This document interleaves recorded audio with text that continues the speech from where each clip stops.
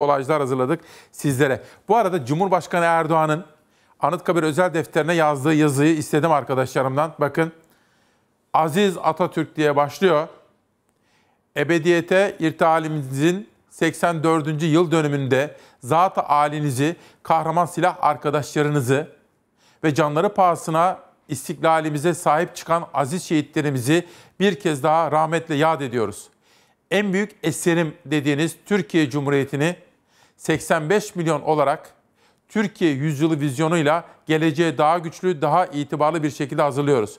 Milletimizin asıllık hayallerini gerçeğe dönüştürene kadar durmayacak, sardılar karşısında yılmayacak, mücadelemizi kararlılıkla sürdüreceğiz. Ruhun şad olsun. Recep Tayyip Erdoğan Cumhurbaşkanı 10 Kasım 2022. Aziz Atatürk diye başlayan bugünkü Anıtkabir özel defterine yazdığı notlarında Erdoğan bunları söylemiş efendim. Anlamak değil mi? Atatürk'ü anmak değil, anlamak diyoruz. Anmak değil, anlamak. Anladığımız zaman biraz mahcubiyet duygusu içinde olmamız gerekiyor. Çünkü onun bize emanet ettiği cumhuriyeti, onun bize hedef gösterdiği noktaya henüz taşıyabilmiş değiliz. Bu arada Hilal bu Atatürk evini bana kim göndermişti? Bana bir bilgi versene. Dün gelmiş ben göremedim. Lüleburgaz'dan gelmiş. Dün editörüme ulaşmış. Ben çıkmıştım. Mithat Tunaboylu'ya da teşekkür ediyorum bu zarif jesti için efendim. Çok sağ olsun. Lüleburgaz'a da selamlarımızı iletelim filan. Şimdi dün ekmek meselesine bakmıştık. Hacer Fogo. Bir Hacer Fogo'yu dinlemek istiyorum. Dün buraya geldi. Burada çok önemli açıklamalar yaptı. Çünkü gözlemleri hayatın içindendi. Ve biz tam da Atatürk'ü andığımız bu özel tarihte tam da 100. yılına doğru gittiğimiz Cumhuriyetimizin çocuklarımızı koruması, çocuklarımızın karnını doyurması, çocuklarımızı her türlü illetten, meretten, uyuşturucu gibi belalardan uzak tutarak onları aydınlık geleceğe taşımamız gerekiyor. O nedenle biz Hacer Fogo'nun sözlerini can kulağıyla dinledik. Uyuşturucu meselesi niye gündeme getirdi? Bu oran çok arttı. Sayın e, Soylu'nun da geçen hafta yaptığı açıklamada haftada 5 bin. Haftada 5 bin bu e, oranın ne kadar yüksek olduğunu aynı zamanda görüyor. Bence burada acilen müdahale edilmesi gereken bir durum var. Çocuklarda çok fazla bu oran.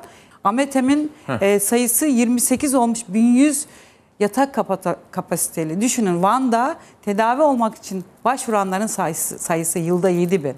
İzmir birinci şehir olarak gözüküyor. İstanbul'da bu oran çok artıyor. Sizin gözleminizde uyuşturucu kullanımı hem yaş itibariyle düşüyor hem de yaygınlaşıyor mu? Kesinlikle öyle. Bizim yapmamız gereken şey tedavi merkezlerini bir an önce çoğaltmak yani önlemeye e, yönelik şeyler yapmamız gerekiyor. Şu anda ha. hani e, Sayın İçişleri Bakanı'nın, Aile Sosyal Politikalar Bakanlığı'nın, e, Sağlık Bakanlığı'nın bir an önce e, ve muhalefet partisinin partilerin hepsinin bir an önce toplanıp bir çalışma yapması gerekiyor. Narkolog raporuna baktığınız zaman evde kullanma oranı e, %45.3. Şimdi mesela Sayın Süleyman Soylu evet dünyanın en iyisi olalım zaten. Evet. Yani uyuşturucuyla da mücadelede en iyisi olalım ama e, mesele sadece yakalamak etmek değil. Mesele önlemek. İstanbul Büyükşehir Belediyesi kız öğrenci yurtlarında ücretsiz pet dağıtım başladı ve inanılmaz bir tepki geldi. Yani benim ya anlamadığım... Buna niye tepki gösterir ki? benim anlamadığım şey ve çok kötü de bir başlık atmıştı biliyorsunuz. Ee, evet. Ben de zaten bir tweet atmıştım ve e, Sayın Derya Yanı Aile ve Sosyal e, Bakanlığı da e, etiketlemiştim. Çünkü bunun özellikle liselerde Böyle bir şey var. Yani böyle bir sorun var dediniz. Böyle, e, tabii nasıl ki çözebilir yani, devlet? E, nasıl çözebilir? Özellikle ortaokullarda ve liselerde e, çocukların gittiği tuvaletlerde mesela böyle bir e, uygulama yapabilir. Yani orada bir makinayla alabilirler, ücretsiz olarak alabilirler. Pandemi ve sonrasında ekonomik krizin derinleşmesiyle birlikte aileler maalesef gıdaya erişemiyor. Ailelerle konuştuğunuz zaman e, bu durumun ne kadar e, facia olduğunu görüyorsunuz. E, yoksulluk e, önlenebilir, azalabilir. Bir şey yapsınlar. Bu çocukların okula aç gitmemesi konusunda bir çağrıda bulunur musunuz rica etsem? Yani şöyle başta e, Sayın Aile Bakanı'na Derya Yana buradan seslenmek istiyorum. Ee, gerçekten kendisi de çok iyi biliyor ki yoksul mahallelerde her evde gelişim bozukluğu olan bir çocuk var. Yani bütün sosyal hizmet uzmanlarını toplasın. Öncelikle mesela bunu ortaya çıkarsın. O veriyle birlikte aslında okul beslenme programlarının ne kadar önemli olduğunu görecek.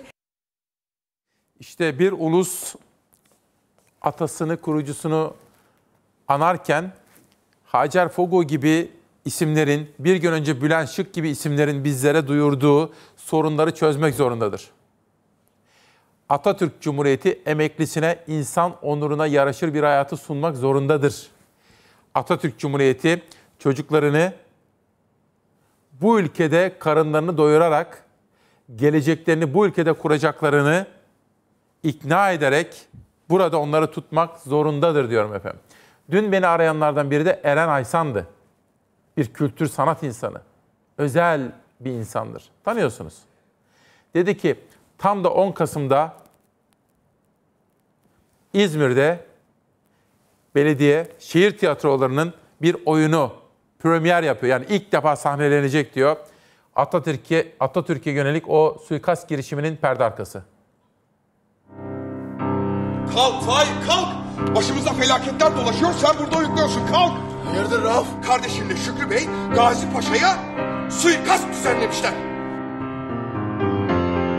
Bu Şükrü Bey aklını kaybetmiş Rasim Bey. Çocuk oyuncağı mı bu? Dünyayı dize getirmiş biri. Mustafa Kemal'e suikast kolay mı? ortasından vururum Ankara'da yapamadık. Bursa'da da yapamadık. Artık İzmir'de 12'den vurmalıyız. Evet Gazi Paşa. İzmir'deki karşılama programın hazır.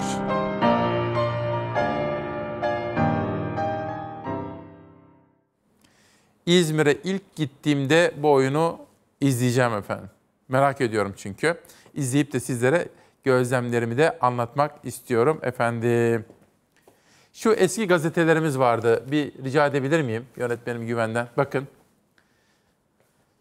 O tarihe ilişkin manşetler, matemimiz, gazete nüshalarına yansıyan babamızı kaybettik ifadesi. Büyük milletin yası, Türk vatanı büyük yapıcısını, Türk milleti ulu şefini, insanlık büyük evladını kaybetti diyor. Düşünebiliyor musunuz? Bugün bile yıl 2022 en büyük umudumuz o. İlham kaynağımız o. Cesareti ondan alıyoruz. Onun yaşadıklarından. Düşünsenize padişah ona neler yapmak istedi. Hakkında idam fermanları çıkarıldı. Rütbeleri sökülmek istendi. Adeta adeta tek başınaydı Atatürk. Ama yıldı mı? Hayır. Ne dedi? Evvela ahaliyi uyandırmak lazım dedi. Vatanda beliren tehlike konusunda evvela ahaliyi uyandırmak lazım dedi. Çünkü Atatürk şunu biliyordu. Bu ahali uyandırılması gereken bir ahalidir. Yani tehlikeler konusunda onları uyandırmanız gerekiyor. Bir kere uyansın ahali, bizim halkımız. Ondan sonra durduramazsınız, uyutamazsınız. Biraz sonra İlker Başbuğ buraya geliyor.